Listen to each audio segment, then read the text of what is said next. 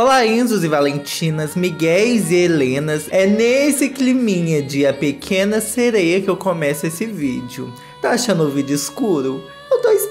Pelo filme. Olha como que é diferente quando você emprega uma luz boa, Disney. Bem melhor agora, né? Fica aí a dica então, Disney. Youtuber brasileiro ensina Disney a iluminar filmes. Eu quis me empolgar para além da iluminação, também trazer um look inspirado nas cores de Ariel, tá? A touquinha para representar o cabelo. E assim, isso aqui louro, ó, é porque tem horas no filme que a princesa sereia ruiva, tem hora que você acha que ela é loura?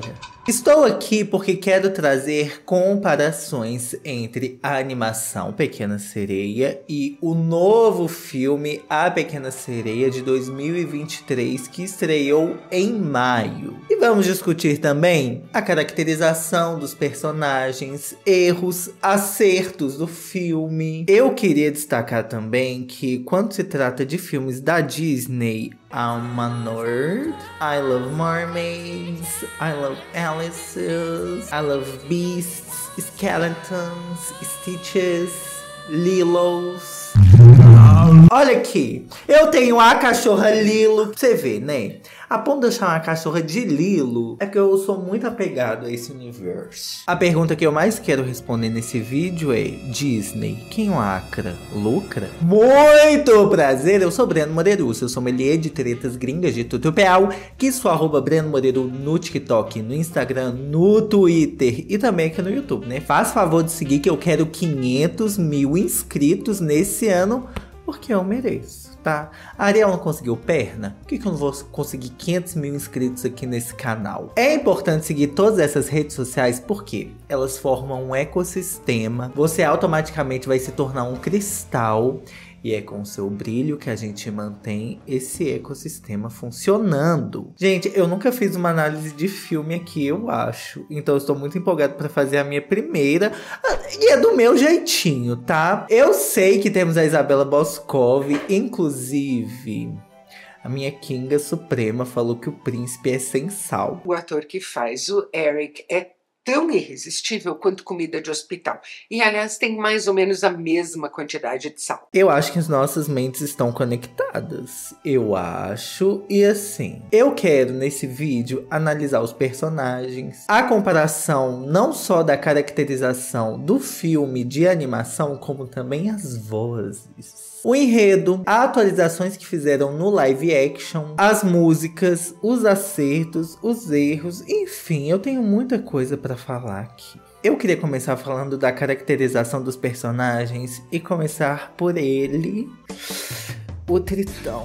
Ai. Ah, ah. Quando eu olho pro Tritão da animação, eu penso que ah, eu quero muito um Sugar Daddy. Quero muito um Sugar Daddy. Gente, o Tritão da animação, meu Deus, que homem gostoso. Barbudão, musculoso. O peito dele, eu tenho vontade de, assim, entrar ali e só ficar, entendeu? É dormir nesse peitão. E aí, quando falaram que ia ter o live action, as pessoas, inclusive, sugeriram que o Idris Elba deveria ser o Tritão. Fizeram até uma caracterização. Oh. Ai, gente. Ó o peitão do Idris Elba. Meu Deus, que homem gostoso. E aí, teve também o Terry Crews, que postou no Twitter. Terry Crews é o latrel das branquelas. Aí ele disse que estava pronto para ser o pai da Ariel e ainda postou montagem.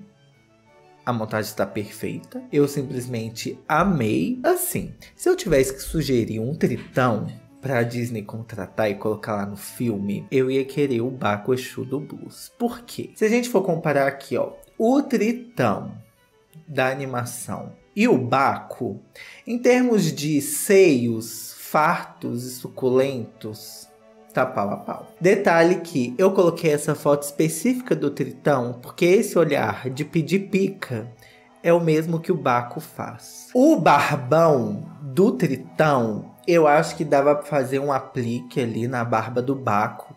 E o Baco de dread. Eu tô simplesmente a Inês Brasil. A Disney, de novo, não pegou a minha dica, né? Ô Disney, Oh, eu já tô falando de iluminação, eu já estou falando de elenco. Mal comecei o vídeo, já tô aqui dando altas dicas. A Disney ignorou todas as sugestões de homens gostosos para fazer o papel do Tritão e convidou o Javier Bardem. Assim, concordamos, né, todos nós aqui, que tinha que ser um Dead bem gostosão, né, um Deadzão, porque o crush que eu tenho no pai da Ariel, puta que pariu. O tritão do Javier Bardem não colocou os peitos para jogo. Nessa parte eu fico bem triste. Quando eles pensaram, e se a gente soltar um pôster mostrando o tritão? Só que a gente vai mostrar ele fora d'água. Gente, fora d'água, todo o look do tritão é lastimável. A barba fica escorrida e já seca, né? Tipo assim, ele saiu da água, a barba já secou. O cabelo lambido. Até que a fisionomia, sim, remete muito ao tritão da animação. Mas a coroa, a Disney quis fazer tudo muito realista, mas assim, podia ter exagerado mais um pouquinho, né? Nesses dentes. Já quando a gente tá assistindo o filme e vai ver o tritão, ó, Vê o quê? Que assim, se ele tivesse sem camisa, não ia dar para apreciar os peitão do Javier Bardem. Porque, sinceramente, o filme é muito escuro. Gente, eu não tô exagerando. Eu estava no cinema assim, o cinema já é escuro. E não adiantou, viu, quando você tava lá assistindo o filme. Você assiste o filme assim, ó. ó. Dá vontade de pegar a iluminação e fazer assim, ó. O filme ficar claro, sabe? Ó, claro, clareza, pra você enxergar os detalhes. Eu acho que a Disney falou assim: é que a gente vai lacrar, que vai fazer um filme debaixo d'água. Fia, você já tá fazendo um filme debaixo d'água. Escuro, não é que você vai disfarçar ali as coisas que não ficaram prontas no render, sabe? Porque assim, não é um filme de terror, não é um filme de suspense, não é um filme de tensão a pequena sereia. Ó, oh, cocotinha, perde a cauda de peixe, vai virar humana para correr atrás de macho, literalmente, né? Que agora tem pé. Sabe? É uma coisa leve. E o filme, a estética tem que comunicar isso. Assim, por mais que o Tritão não tivesse sem camisa, ele tá vestindo uma armadura, né? Beleza, uma coisa de rei, de Deus, né? Eu achei os assim, muito fininhos. Fizesse um crossfit no Javier Bardem. Gente, eu esperava o deadzão do Tritão. E eu recebi um Tritão mais gospel, né? Mais com roupa. Debaixo d'água, das partes que dá para ver, o cabelo e a barba, muito bons. Já fora d'água, lastimável. Sebastião! Eu acho que o Terry Crews estava tão empolgado com o filme que ele falou assim: por mais que, ok, não vai me aceitar como Tetão, pode me aceitar como Sebastião. E aí ele gravou um vídeo dessa vez mostrando que ele tem talento para fazer o sotaque do Sebastião, ó. Assim. E trabalho de mãos. E ele ainda mostrou a habilidade no peitão, né? Você percebeu o sotaque? Assim, eu, eu gosto de assistir filme legendado, tá? E assim, nesses 16 segundos, o Terry Crews, ele criou uma atmosfera a mesma do Sebastião da animação. E o Sebastião da animação, você concorda comigo que é um personagem emblemático? Icônico. É como se ele fizesse a ponte entre Ariel e o pai Tritão. Eles que têm um atrito na relação. Um atritão. Eu acho que a Disney se perdeu na coisa de querer fazer tudo muito real. Tipo assim, porra, o Sebastião da animação, ele tinha dente. E ele é um caranguejo. Não qualquer caranguejo, porque ele foi inspirado no Red Jamaican Crab, que é uma espécie de caranguejo, que nem a gente está vendo aqui na foto. É até bem condizente com o que fizeram no filme. Mais uma vez que você baseia o seu live action numa animação que carrega toda ali uma nostalgia, eu acho que poderia fazer um trabalho melhor. Não, porque assim, a gente tá falando de Disney, um estúdio que está acostumado a fazer muita caracterização boa. Palmas para a iluminação do pôster do Sebastião. E só. Meu Deus do céu. Que é um ódio de olhar pra esse caranguejo e falar assim: é isso? É isso que me entregaram? Não, porque sinceramente, tipo assim, esse zoi dele. Ai, que ódio. Eu esperava uma bocona do Sebastião. Nessa boquinha aqui, ó, tipo a uva, ó. Sabe? O olho, gente. Tentaram entregar um pouco de caráter, de carisma no olho.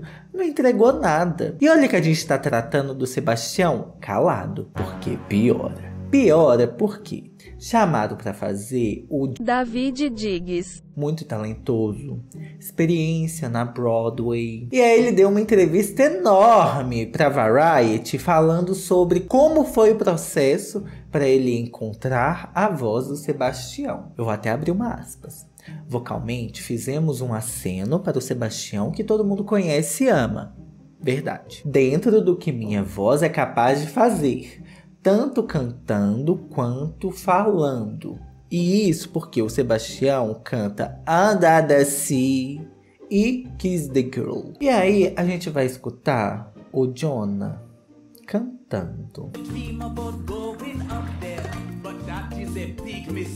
Jonah, eu acho que você nunca nunca entrou em contato com o Sebastião da animação. De todas as polêmicas do filme, a primeira que mais me incomoda é a voz do Sebastião, porque, gente, a voz do Sebastião é icônica. Caso você não saiba, quem fez a voz do Sebastião da animação foi o Samuel Wright. E assim, o encontro de mentes, como com uma pessoa só com a voz consegue entregar tanto carisma e identidade. Perceba. The greener in somebody else's lake.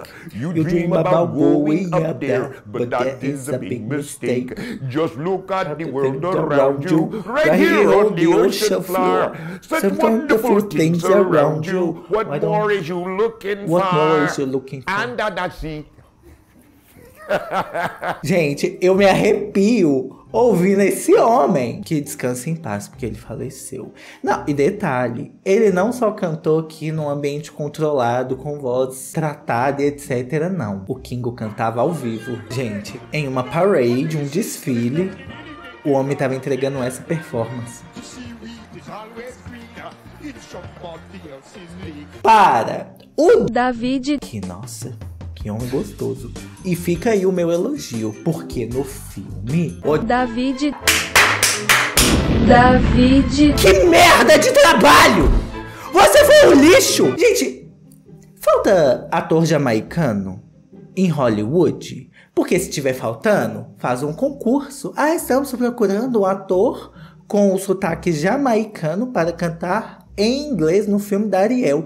Disney. Não ia faltar gente. Eu passava o filme inteiro assim. "Ugh, é, agora que o Sebastião vai entrar, eu vou sair. Eu acho que colocaram o David por causa do currículo dele, que o homem participou de muita coisa. Assim, a gente pode ver que ele fez muita coisa mesmo, até Hamilton. É uma coisa lá da Broadway, etc e tal, mas o sotaque horrível. Ele não entregou nada. Eu não sei se era uma caricatura de um sotaque jamaicano. E assim, faz sentido porque a espécie do caranguejo é da Jamaica. Eu fico em dúvida de chamar isso de caricatura, porque pra você fazer uma caricatura, você tem que entender daquilo que você tá falando, conhecer muito bem, para aí sim você dar uma interpretação caricata em cima daquilo. Com uma merda. Uma merda uma merda, uma merda. Guardada na virilha por três semanas, depois gorfada. E aí sim ele falou assim, ah, eu vou fazer esse sotaque. Vamos falar do linguado, já que a gente tá falando dos pets da Ariel? Assim, a voz não me incomoda, tá bom? Porque é bem parecido com a voz do original, né? O feeling, o sentimento. A espécie que inspirou o peixe é um guppy. Tem contradições, tá? Na série animada, fala que foi um guppy. Mas quando o povo vai lá investigar o do filme, é uma espécie de castanheta das rochas. Um Sergeant Major em inglês. Só que o nome do linguado vem do peixe linguado. E aí, o peixe linguado não tem nada a ver com o peixe da animação e muito menos do live action. Mas assim, tentaram procurar um peixe parecido. Eu vou falar que eu sou grato por tentarem trazer uma coisa do linguado que é o cabelinho aqui penteadinho. E parou aí. Assim, no filme funciona, tá? Por mais que não tenha alegria nenhuma no rosto do linguado no live action, coisa que o linguado da animação, ai, ele é tão fofinho. Não me incomoda tanto quanto do Sebastião.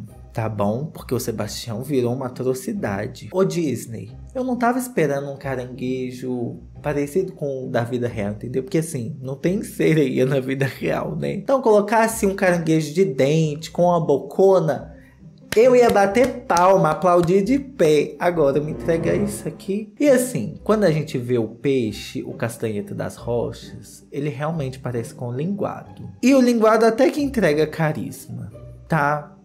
Eu vou dar esse crédito, vou passar o pano. Agora, talvez eu vá falar da personagem que foi a mais polêmica desse filme. Ai, que tentaram lacrar em cima da Ariel. A Ariel preta, onde já se viu?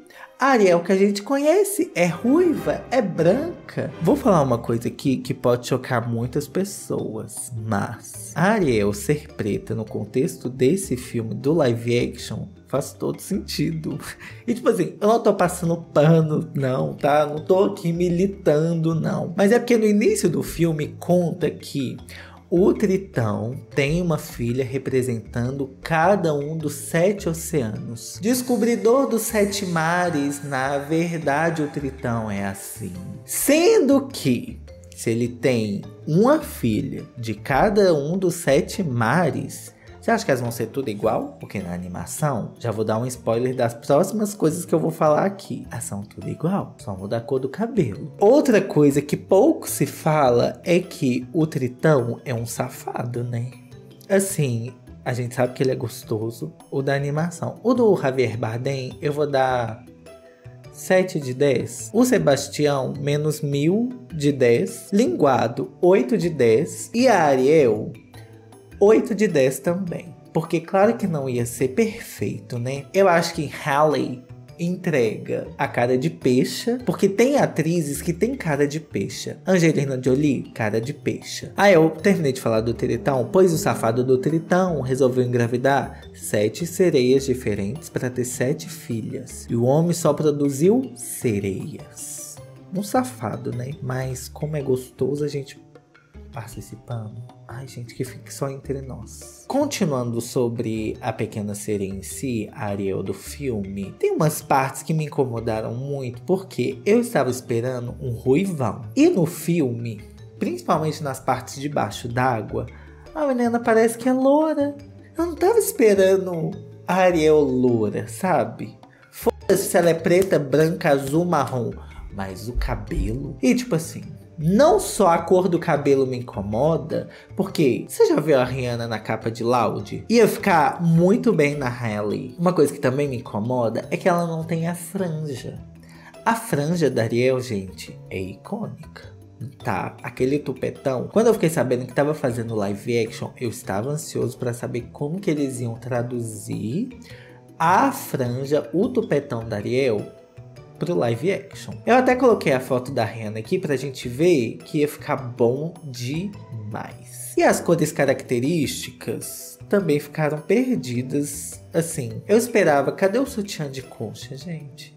Não, é sério. A cauda dela, eu esperava uma cauda babilônica, apocalíptica. É uma cauda bem qualquer coisa.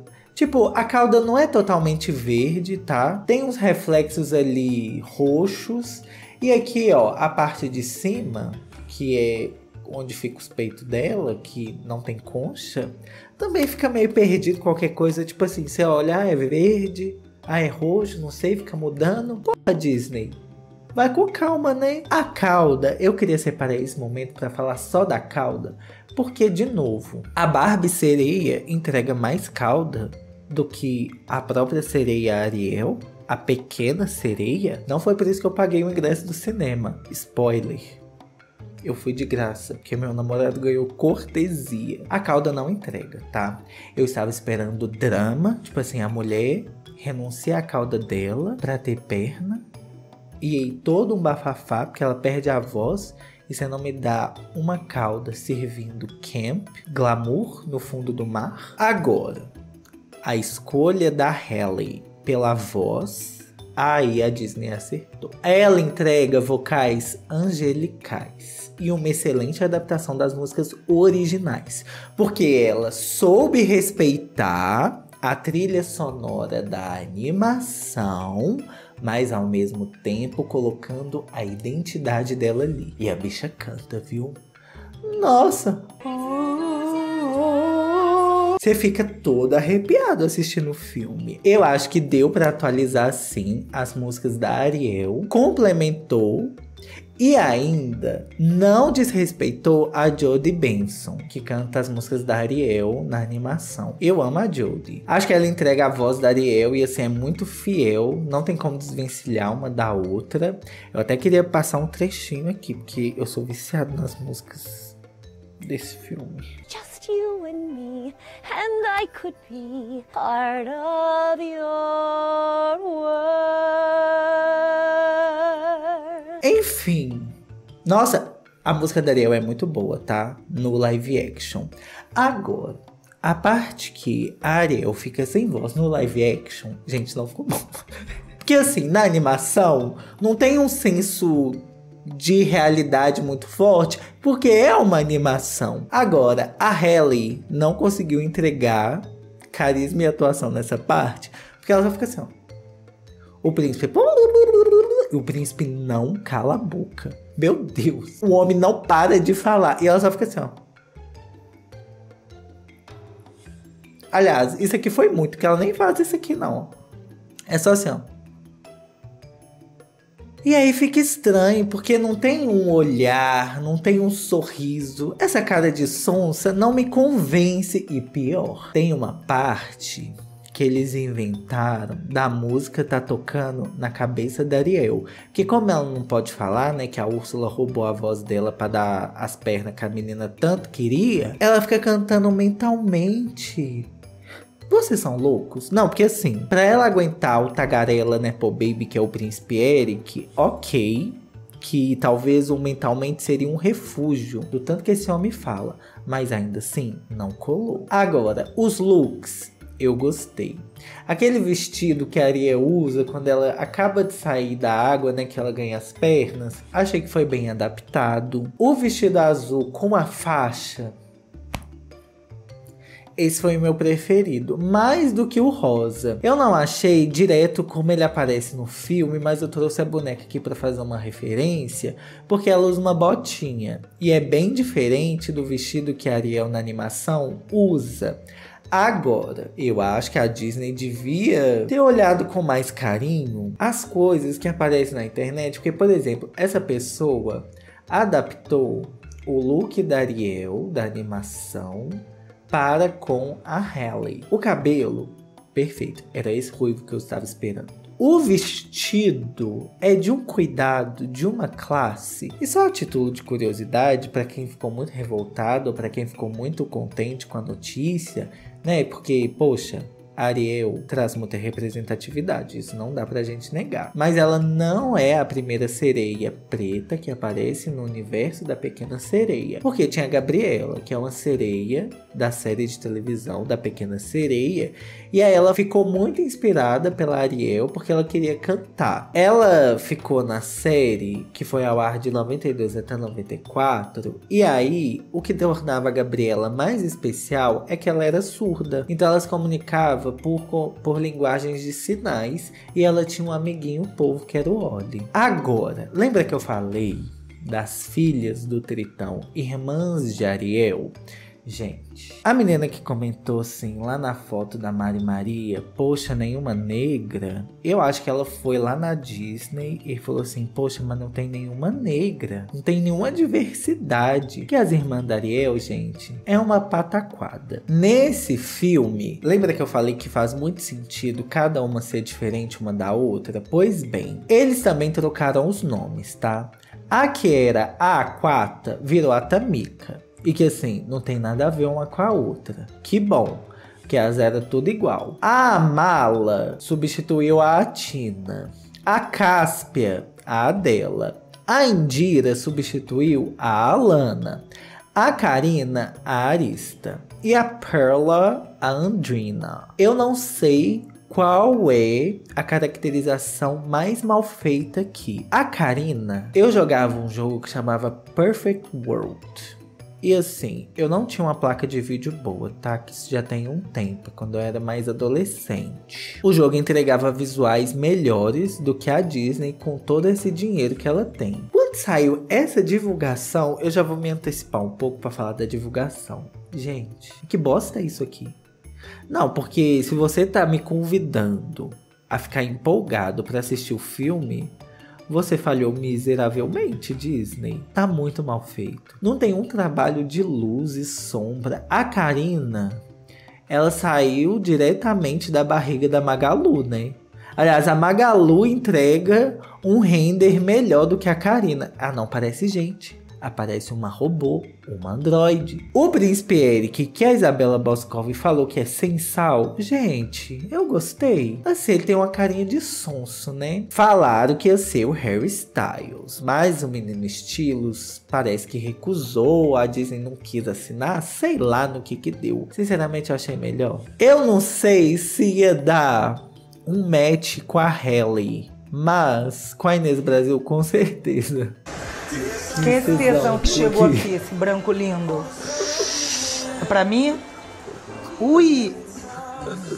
A pergunta que fica para os dois Erics, né? Tanto Harry Styles, três Erics, né? O Harry Styles. Esse menino aqui que eu nem quero citar o nome dele. E o Eric da animação é tipo assim: Ariel, você salvou a vida desse homem e você ficou apaixonada por isso. Não, porque o Eric é um dos príncipes mais sem sal de todos os filmes de princesa. Esse menino, até que eu achei ele assim, dá pro gasto. Tem um caldinho ali, né? Que dá pra gente saborear. Mas é bem de leve. Eu acho que ele fala demais. Isso me incomodou lá no filme. Mas a caracterização até que ficou muito boa. Ele tem aquela coisa do rico que sente fetiche em pobre, não só sente fetiche, mas gosta de fazer cosplay de pobre, sabe? Eu acho que ele tem muito disso. Agora, odiei a Úrsula da Melissa McCarthy. Eu tava fazendo rodízio, né? Quem eu odeio mais? O Sebastião ou a Úrsula? A Melissa McCarthy é podre. Quando eu assisti aquele filme lá, que ela é uma super heroína, junto com o Octavia Spencer, que deusa. Nossa, a Melissa McCarthy é muito fraca. Ela entrega energia de Karen, sabe? Ela não tem um sal, ela não tem a coisa da mulher viado. Porque assim, a caracterização muito aquém do que deveria ser. A Úrsula toda coberta, com esse olho horroroso. A expressão dela para entregar a Úrsula. Fia, vai trabalhar direito, né? Que assim, a música ficou péssima na voz dela. A voz dela é péssima. Ela é péssima. Eu nunca vi uma escolha de elenco tão ruim igual a Melissa McCarthy para fazer a Úrsula. A Úrsula, caralho. Nossa, é uma das minhas vilãs favoritas da Disney.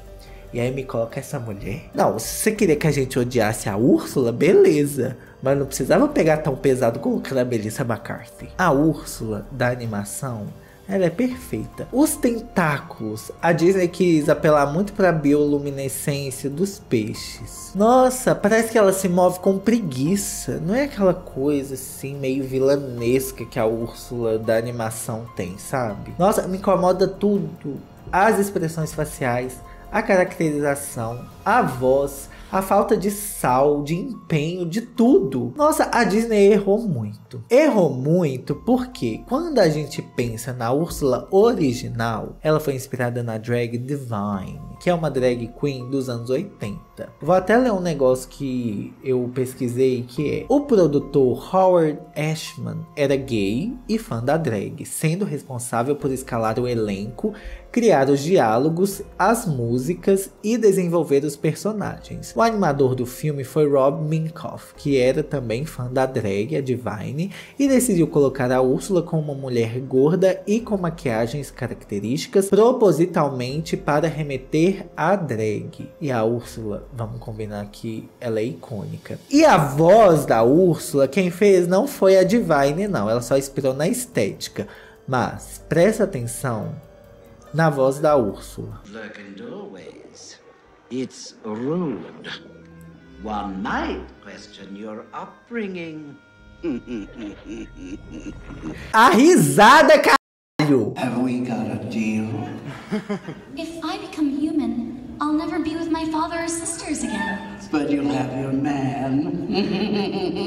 E a Melissa McCarthy é incapaz de entregar um desse, um, um milésimo do que a Pat entregou, que é a dubladora da Úrsula. Agora, a Disney acertou na Úrsula com pés, né? Que na verdade é a Vanessa, quando a Úrsula vai lá roubar o macho da Ariel. E assim, quem vê, acho que é um macho gostoso, né? Eu vou até citar aqui essa thread que eu vi no Twitter do, do Disney Live Actions Brasil no Twitter. Ela usa vários vestidos, apesar de aparecer muito pouco no filme. Ela usa um vestido roxo que é para chamar a atenção do príncipe logo quando ela sai do mar. Aí depois ela usa um vestido com umas mangas mais bufantes. Aí depois a roupa de baixo que ela usa é belíssima. E eu amei a botinha, tá? Depois ela usa outro vestido que é o de noivado. E ela parece demais com a Vanessa da animação. Isso, nossa, eu gostei. Acho que entregou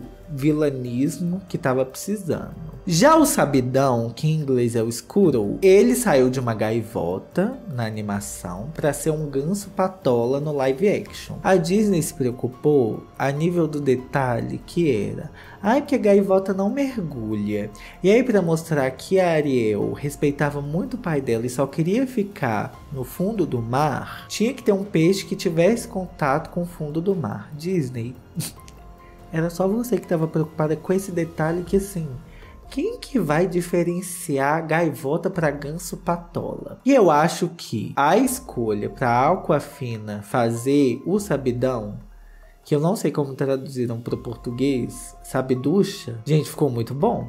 A Aquafina, apesar de toda a problemática, né, da apropriação cultural, eu gostei muito, tá? Eu acho que ela entregou um escuro perfeito tá bom? Sobre os personagens, é isso aí. Agora eu quero falar dos erros. Quando eu tava falando lá das irmãs, eu já dei a entender, né, que a divulgação foi péssima. E foi. Nossa, parecia que eles já estavam cansados do filme. Falaram assim, ah, lança porra logo. Eu sei que teve toda a coisa do Covid durante a produção do filme.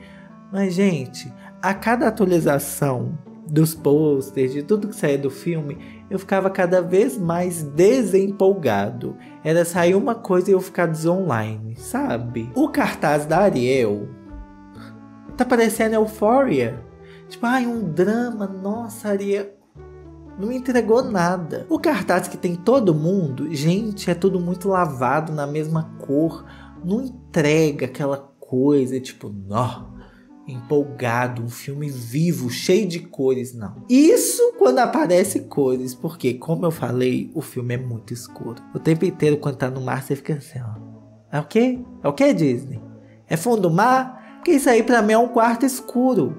É um aquário dentro de uma caixa de sapato. Ô, meus amores, por que tão escuro? Você estava economizando pra quê? E assim, os visuais Ô, gente, a Disney quis mostrar, né, que ela conseguia fazer coisa debaixo d'água, mas foi tudo muito bem executado. Só que eles tentaram fazer parecer real demais. Não teve assim exploração da fantasia. Na dança dos peixes, quando eles estão cantando Under the Sea, que eu acho que é aqui no mar, eu não senti nada.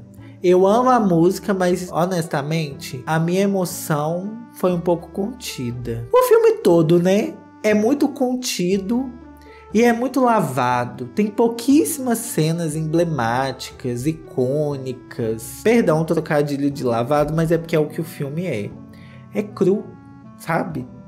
É sem sal, não tem uma saturação, é suave demais. Até que a caracterização dos personagens é muito fraca. Tipo assim, uma cena na praia, o céu todo nublado, umas cor lavada. Nem a Ariel parece ser tão colorida quanto ela deveria ser. Cadê o grupo dos coloridos? As músicas novas. Qualquer coisa, gente. Se não tivesse, eu não ia perceber. Wild Uncharted Waters, que eu acho que é a que o Eric canta, é boa, mas assim, não é nó.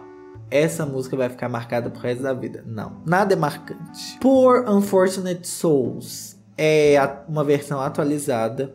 For the First Time é uma versão nova que Ariel canta em pensamento. Ficar escalada, né? Kiss the Girl, que eles atualizam a letra. E Butt que é a música da Aquafina. Essa eu gostei. Tem uma coisa meio rap ali, eu gosto muito. A cena que eu acho que foi muito acertada foi a parte da lagoa, sabe? Quando canta Kiss the Girl. Se tivesse trocado Sebastian, aí ia ficar perfeita. Mas tem a parte dos vagalumes, tem a parte da bioluminescência dos peixes e tipo assim, se a Disney tivesse tão preocupada, ela não ia deixar o linguado numa lagoa, né? Porque a gente sabe que o peixe de água salgada não interage com a água doce. O filme já não foi bem recebido desde o início porque teve mais dislike do que like no trailer. E a indignação, beleza, eu até entendo, né? Tá mexendo com a coisa da nostalgia, com a memória afetiva das pessoas. Apesar de tudo isso, a Pequena Sereia, o filme, lucrou. Fez barulho quando estreou e a arrecadação foi no valor estimado de 163 milhões e 500 mil dólares. E aí esse número inclui três dias do final de semana em que o filme estreou. As conclusões que podemos tirar é: acendeu a luz e ia ficar ó, não é marcante é um filme cru. A voz da Halle como Ariel entregou. Eu acho que a Disney, assim, se preocupou tanto em fazer tudo muito certinho, sabe? Ai, ela é tão galera, ela é tão da paz. Vou fazer um filme bem bonitinho, para ninguém botar defeito. Esqueceu que o filme ficou cru, né? Cru e de luz apagada. Eu assistiria de novo? Não. Não, não, não, não, não. Eu tenho Disney Plus eu não assisto mais. É diferente do filme da Bela e a Fera, por exemplo. Ai, o filme da Bela e a Fera pra mim foi o melhor live action. Eu amei Rei Leão, com a mais que eu assisti. Amei Aladdin, mas cai na mesma coisa da Ariel. Não é um filme assim, ó. O gênio de Aladdin, Will Smith, te amo. Ele mesmo confessou que ele nunca ia conseguir superar o Robbie Williams. E realmente. Cinderela eu amo também. Tenho que assistir Mowgli. Assim, tem muito live action que a Disney já fez e ainda vai fazer. Aí eu quero comentar de todos que saírem, que os anteriores eu não tava muito engajado, né? Dumbo, Dame Vagabundo, Pinóquio. Nó, é um pé no saco. Que filme ruim. Então, a minha conclusão é essa. Você gostou do filme? Gostou dos personagens? O que não gostaste? Eu quero saber tudo que você pensa sobre o filme, sobre tudo que eu falei aqui também, tudo tá? Muito obrigado pela sua companhia e eu te espero no próximo vídeo, neném.